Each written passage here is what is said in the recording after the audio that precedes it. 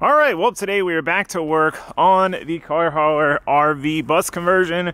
We've got some more upgrades planned for this thing and some repairs, and we're gonna try to test them all out once we're done. So we've been chipping away at this thing, and the time that we've had it, we've come up with a bit of a list of things we wanna upgrade, things that need to be fixed, all that good stuff, and we've just been tackling them one by one. So the first set of projects is gonna be on the inside here. Our last set of upgrades are very helpful. As you can see, it's dark in here. Now we got some light. So we're gonna start in the living quarters here. So one of the biggest things we need to tackle for a race weekend is entertainment. We're gonna be working on our infotainment system here, if you could even call it that. So this is a 1989 Eagle bus. So the bus was built in 89, but the retrofit, the outfitting was done in 2005. So the technology is not completely dated, but it's pretty dated. You know, it's all it's all pretty dated. If you look up here, we've got a 101 disc CD changer. uh, which nobody uses CDs anymore. We've got a DVD and VHS player, which I do want to retain this because I don't even know if I own another DVD player. And we've got a bunch of DVDs in here, including, you know, Pulp Fiction, one of my favorite movies. Got, we got some good movie selections here. So we want to retain this. However, the TV. TV is really the biggest thing. One, it's not displaying a picture right now, which when we start to take it apart, we could potentially figure out why and fix it. But with technology, we now have smart TVs that we can connect to apps. So I want to replace this TV and speaker system with a more modern equivalent. So we basically got to rip this apart, see what's going on in there, and uh, start upgrading it. Fortunately, all these projects are inside. Um, so daylight's not really an issue, but I do have one project I'm going to tackle on the outside that uh, we need some daylight for ideally. So if you didn't see the last episode of upgrades, we added these cabinet lights and set them up to where they come on automatically when you latch the, uh, the door here. Now the downside is if it's daylight, you've got to go in here and manually turn off each of these lights. Now, the original plan was only to have one light, so you're only turning off one light if you're going to leave the cabinet open. But now that we switched the plan midway through to two lights, that becomes a bit more of a nuisance. So we're going to fix that by adding a main switch to cut off all the lights. So we don't have some cabinets with the lights on, some cabinets with them off. It'll just be a little bit easier that way. So put our switch in this cabinet since this is where all the electrical stuff is. Basically put it in line with this power going out to all of the lights, aside from these two. So these two you'd still have to turn off, but that's okay because this is the panel you're going to be coming into to turn the rest of them off. Got some light up switches. Oh, where do I want to put this? Oh no, down here. This is where I wanted it. So when you're drilling through thin material like this, a step bit is your best friend as opposed to having to switch through multiple drill bit sizes. So we blasted a hole real quick into this. I, I may or may not have drilled it almost a little too big, but it worked. So we're all good. Now, the only downside to a light up switch like this is the switch needs power and ground for the light in the switch to work. So instead of having two wires where you're just breaking the connection between the two, you have a third wire to ground, assuming that you have power running through the switch, and that lights up the bulb. So we had to do that. We had to modify our power wires a little bit, and then we're good to go. All right, time to test it out. Put the fuse back in. Switch is off. I believe it's off. I don't know which way is which. Yeah, there we go and it's got its own LED so that way you can see if you peek in here that it's on that way you know if it's daytime sometimes it's kind of hard to tell if lights are on but yeah so the switch has to be on and you have to open and latch the door for the lights to come on. If it's uh, daylight and we plan on leaving the cabinets open we just come in here and flick the switch. Easy enough. Sweet. All right now we can move back inside. I just wanted to get that taken care of. It was gonna bother me until I did it so let's move on.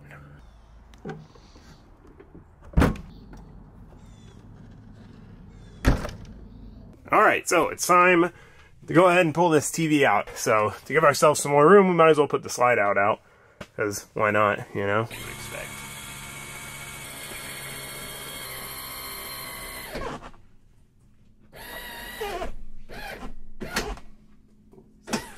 Oh, dude, that opens up so much room. I can never get over it. I'm wondering. Oh, I think probably this panel. See, that's my first attack. yeah, yeah, I agree. Take that panel out and then We can maybe get to this Get uh, behind those. So we dove into the task of pulling this TV out. It's hard because, you know, when you make stuff like this, you want to make it look as seamless as possible. You don't want to see the hardware to remove it, but if you're not the one who made it, it's kind of tricky to determine what hardware you've got to, what has to come out first. But fortunately, we got this old TV out of the way. I wouldn't be opposed to keeping the old TV, but it just doesn't make sense. And then I made sure that the stereo system still worked, and then we tore further into it. Dude, we're in, in, in there. Yeah. Into the thick of it. Literally. So while we had everything apart, I wanted to also inspect this AC ducting. So you can flip basically a, a, door closed on the front AC unit and it'll blow the air through these vents and down into the driver area. So I wanted to make sure we didn't have anything crazy leaking back here that would hurt the performance of the AC. And then we just continued on tearing this thing apart. Freaking control center. Oh, you could. Look at that.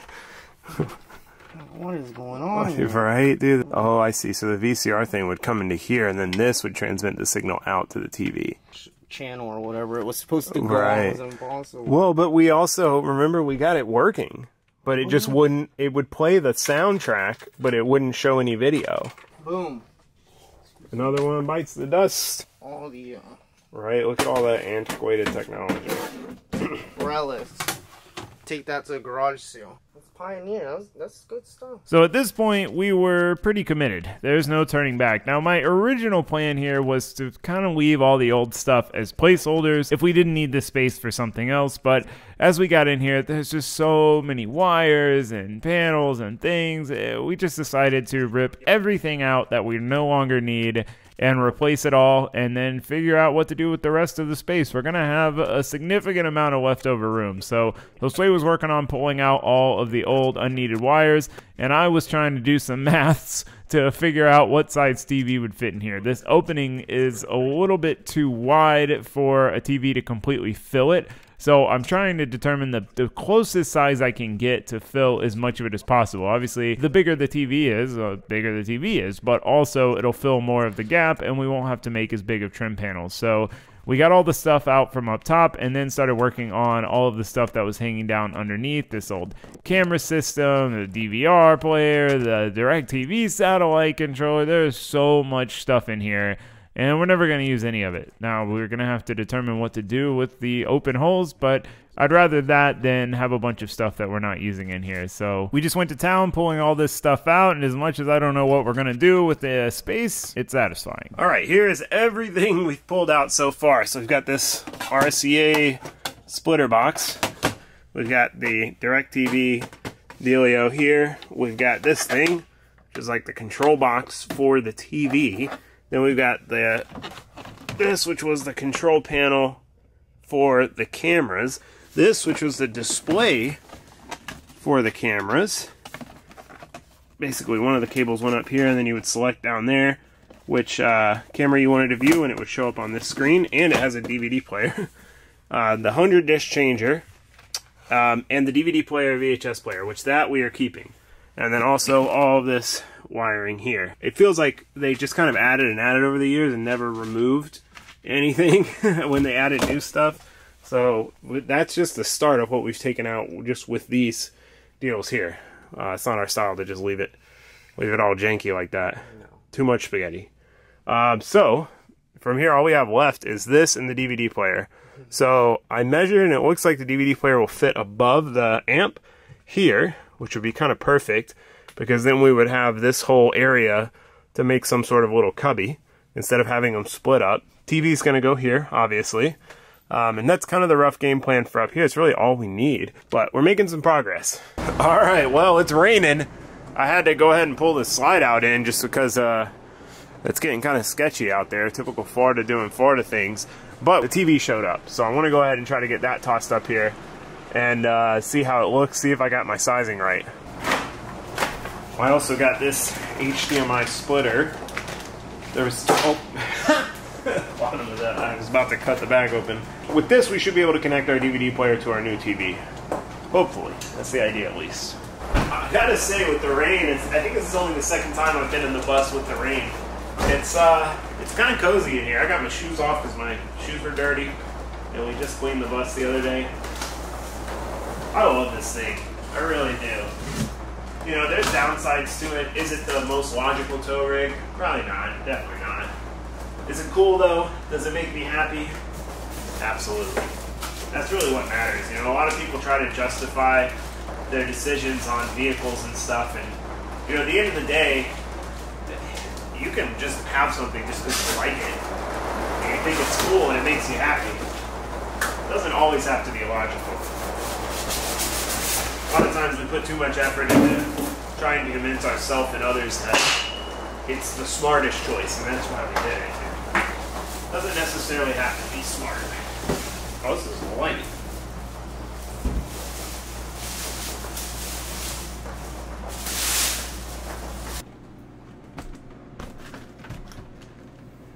Oh yeah, that's literally on the money because this panel take up that extra bit of space and then the frame right above this lip here. So, you know, obviously be, it would have been nice if we if, if it could have been a little wider. We're gonna have to make a little fill panel here. But aside from that, it's pretty much perfect. You know, the the mounting points are in the middle of the TV, so I have to make a pretty long bracket left and right. Ooh, it's gonna be nice. I first time taking a step back. Let me let me let me walk back here, pretend like I'm chilling on the couch. Oh yeah. Oh, that's good. I've also got a HDMI to USB-C cable that I can hook my laptop up to the TV. So during an event, we could put the footage on my laptop and play it on the screen. Yeah, sick. I'm stoked on that.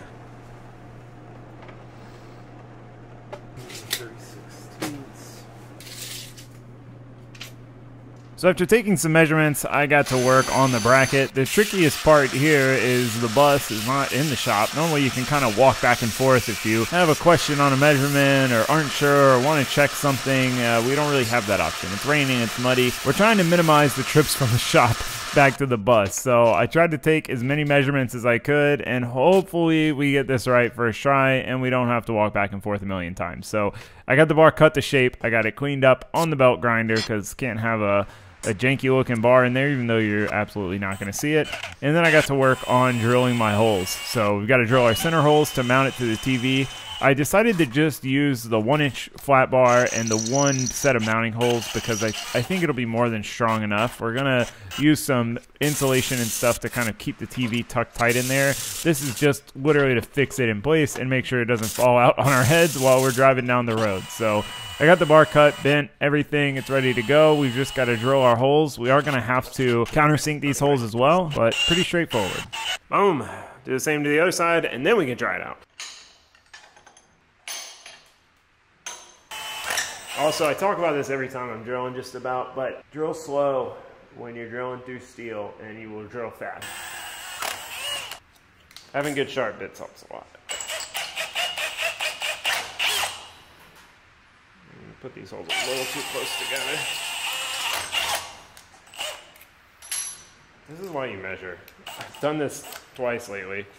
I just eyeballed my holes and it's bit me a little bit, but it's okay. Nice, quick and dirty little TV bracket. Satisfying. Let's see if this, this might be a little too long. Added a little kick to my bracket. It's like 16th of an inch too wide.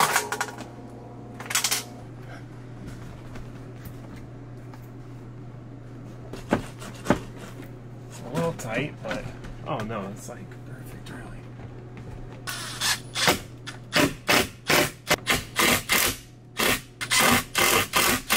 I mean, that should work. I mean, check it out, dude. We got a TV. If you're chilling on the couch back here, boom, watching a show, watching drift footage from the event off the laptop. This is sick. it's so satisfying. TV's so much bigger than the other one, and we get rid of all that ancillary stuff that we don't need anymore.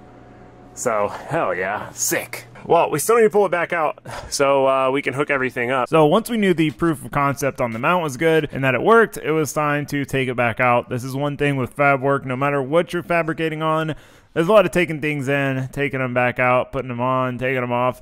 But once we knew it was going to work, I went ahead and started working on hooking up everything the DVD player cables, the cable for the laptop. I want to make sure that's in there, all of that good stuff. And then I went ahead and threw a strip of insulation on the bottom to help kind of keep it nice and tight, keep it from wobbling around, and also kind of protect it from vibrations when we're going down the road. All right, well, it updated like three times and then updated the apps, but we finally got the TV working. Pretty uh, stoked on this, man. Look at that. We got YouTube pulled up. Man, it looks so sick. Look at that. You take a step back. Oh, I'm so stoked. It's so cool to have a nice TV in here where we can watch we want. We can watch YouTube videos. We can pull up footage from the track. Like, so freaking cool. Just look at it.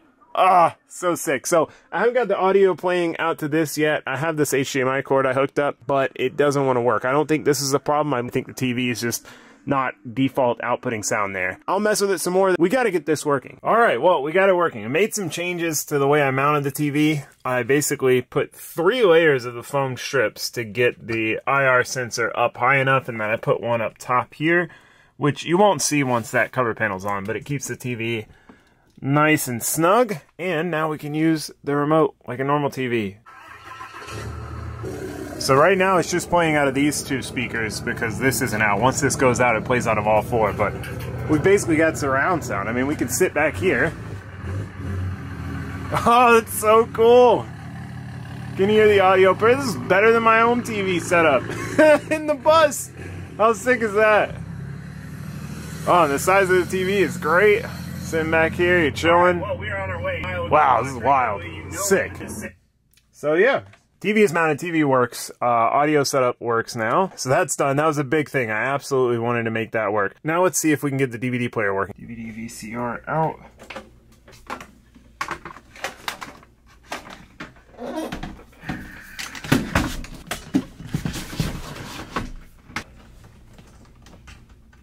Oh yeah, there we go. All right. Come on, please work. I'm not using the VCR. Source. There we go. There we go. All right. We're getting somewhere. Okay, the audio's not working. So we need to figure out. It's working! That's so exciting! Let's go! We don't even need internet to be entertained while we're on the bus. Ah, it's so cool! I'm definitely spending a night in the bus just for fun, just to watch old DVDs. Alright, well, sick. That is incredibly exciting. So now we've got really all of the electronics taken care of. We've got our DVD VHS player working, we've got our audio system working, and we have our new TV. Boom, there's all our remotes. So that's all sorted. That's done. Uh, very satisfying. So basically what's next is we need to come up with some sort of trim for here, and then we need to figure out what to do with all this, all, all this room we have now for activities. All right, well, I have decided finally on a cubby. The original plan, we're to stick with it. Uh, there's nothing else that we really need to put up there electronically, and this will give us a nice, good open storage area. You can always use more storage on uh, something like this. Now, I was torn on whether I wanted to make it out of plywood or aluminum sheet. I'd have more fun making it out of a, a sheet of aluminum, but there's downsides and upsides to both. So I decided we're going to use both. We'll get the best of both worlds as far as mounting it and the the spatial constraints that we have to keep it all looking clean and uniform and as if it was meant to be there. That'll make more sense once we uh, get it together. You'll see what I mean. But that being said, I've got my measurements here. All we need to do is cut our wood, cut our aluminum sheet, and put it all together. So you know the deal. Enough jibber jabber. Let's get back to work.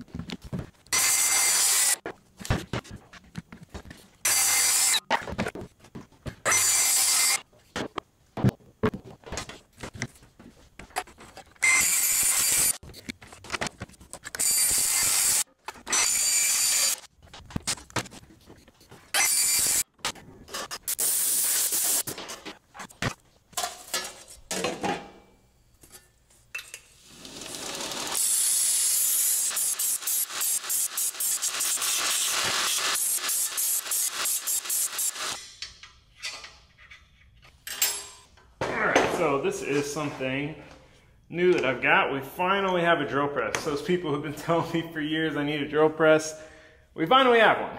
Kind of. It's a mag drill. So what this does is basically, we've got this big electromagnet down here in the bottom. So with it on,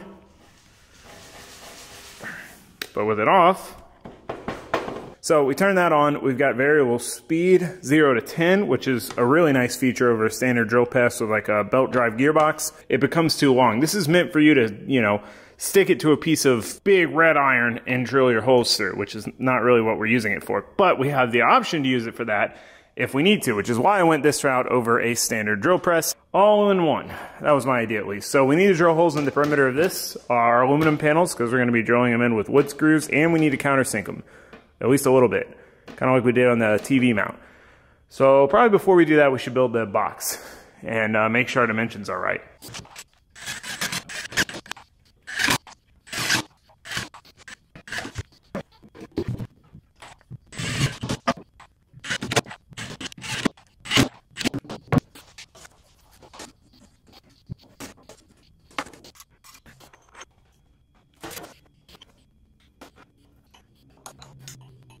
So I started working on drilling out these holes, and this is my first time really using this. Besides tinkering with it when I set it up and got put together this base setup for it, and uh, wow, what a what a difference! I should have got a drill press a long time ago. This is very satisfying. I can't wait to do more projects with it. So we got the perimeter hole drilled, and then went back with the countersink to A, clean up the holes again, and then B, actually countersink them for the wood screws so they sit nice and flush and everything nice and clean and uniform. That's always the goal. Keep things clean, keep things simple, keep things semi-professional looking. Whew, stoked on that.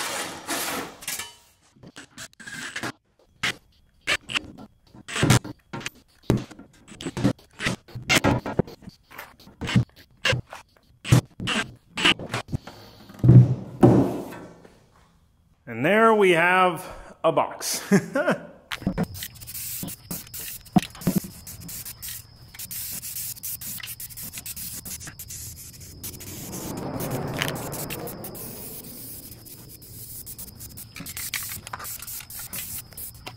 got this USB hub for charging things. We're gonna tuck it, you know, kind of as far back here as we can.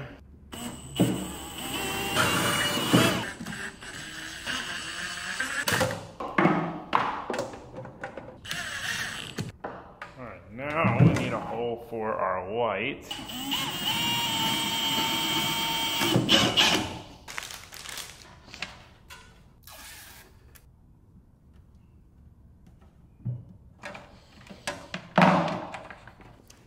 These are pretty nifty for when you don't want to have to whip out a car battery in the power probe. A little, little dim in there.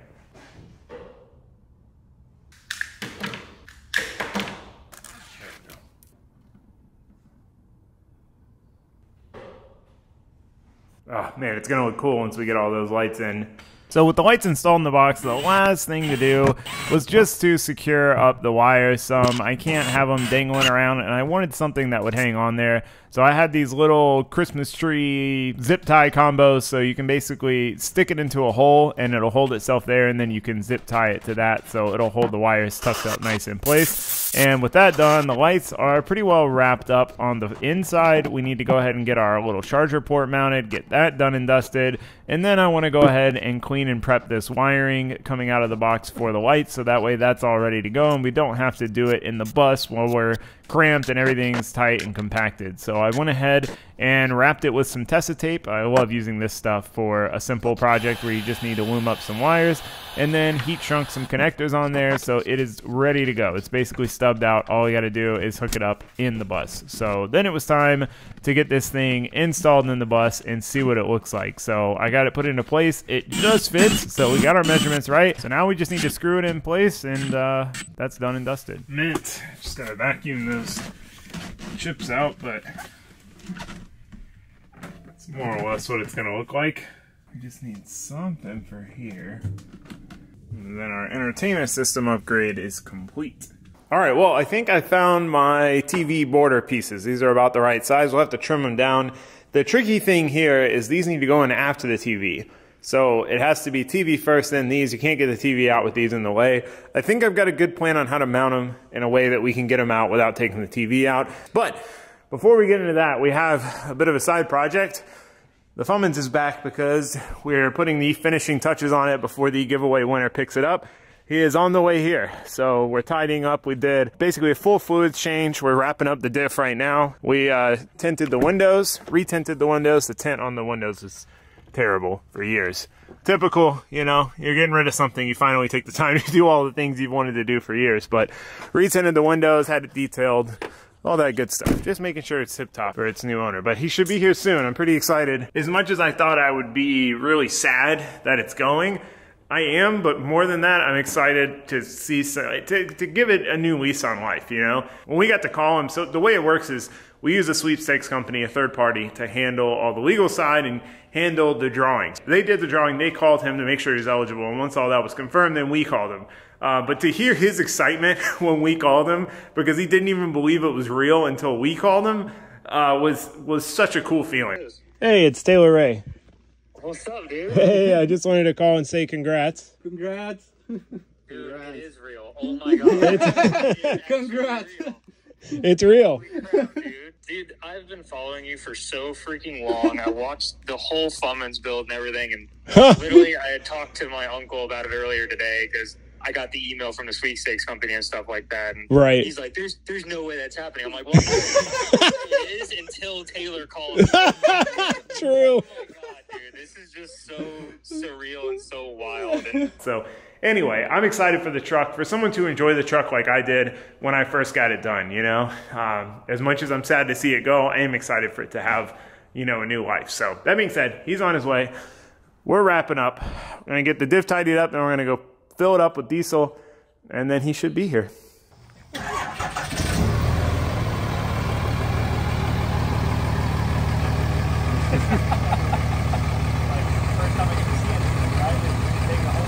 Yeah. it chops. It chops way better than the other one. Yeah, that's sick. It's not as loud in person. Yeah, it's not too loud. Yeah. It's real loud. Because we got family dinner tonight. Maybe I'll just take this to family dinner. There you go. Yeah. I'll, after dinner, I'll go hook the trailer up and bring it to work tomorrow. Yeah, there you go. gotta do that Phone check on the car before Saturday. So There you go. That'll be hilarious.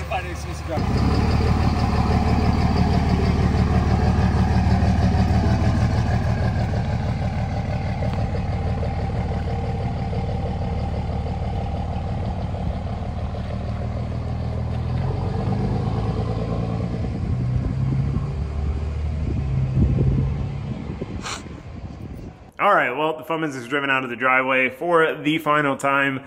Uh, definitely bittersweet is probably the best word uh, term to describe it, you know? So, anyway, I'm jibber jabbering. Fummins is off to a new home. So, that being said, we got to get back to work. Got to finish this bus project. I'm so eager to see this finished up, clean up all my tools, and, and see the finished product. So, uh, I've got my measurements, my dimensions. I need to cut these down, test fit them, mount them. All that goes well make them look nice. We're either going to paint them or wrap them. I don't know which, depending on how I'm feeling. But first things first, we got to get them cut to shape. So let's get back to work.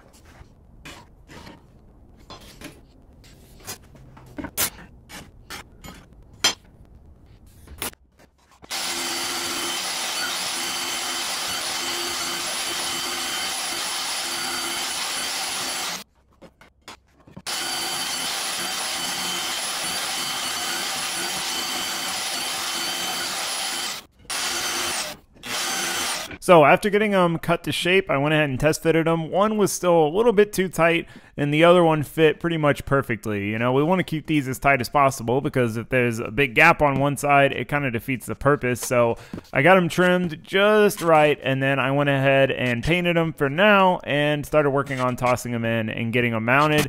So that's really the trickiest part here. It's like I said in the beginning, where you you want all this stuff to look like there's no way you can take it apart, but then you got to be able to take it apart. So trying to do that is tricky, but we got them in, we got them screwed together, and then it was time to kind of button everything else back up and see what the complete finished product looks like all together. This thing has been taken apart for days now. I'm so ready to see it complete. However, this top panel is going to spoil my party, it seems like. I'm trying to get it in, but it is just a little bit too tight up against the TV. The TV either needs to go down or it needs to get trimmed back, one or the other. I think we should just lower the TV down some. All right, well, I got to make a decision on this. Uh, I'm not 100% sure which way I want to go. We've either got to trim and recover this, or we got to drop the TV down so that way it tucks up over top of the TV and then trim this little section out or deal with having to walk up here with the remote, which would be annoying. So I'd, I'd like to make this work if we can. Just notch this and try to not completely demolish the fabric. So that being said though, we have a working smart TV that works with a DVD VHS player that works with the TV and our full surround sound system. Like I said, this setup is better than what I have in my own house, you know? I mean, I just got the TV. I don't have any surround sound, but it's sick. I'm very, very pleased that we have that working with the TV um, because it didn't even work with the TV before, with the old TV, even if the old TV works. So, uh, nice improvement. Our little box. I've got a little cargo net coming for the front of that. It'll look cool, all lit up going down the road. We got to decide what we want to do in this area, all this open space. Um, I want to add CarPlay and a little den and stuff for here. I want to add an amp and a sub in here. Uh, I've also got a bunch of different options for lighting, for ambient lighting inside here, more lighting for in the garage portion. So we still got a bit to do. I was hoping to wrap this part of the project all the way up, but I don't want to hack it up just to get it done. Uh, I want to get the right stuff to, to do this properly and get this all finished. We're close. We're so close to the finish line. And, and seeing the trim panels, I, I want to wrap them too. So anyway, that being said, you see where I'm going with this. We're out of time. So I'm going to go ahead and end it here, uh, but we'll pick this back up. We got plenty more work to do. We just got some other projects we need to jump on in the meantime. So now that is going to be it. So I do want to say thank you for watching. Thanks for subscribing, and that I sure hope I'll get to see you next time. Goodbye.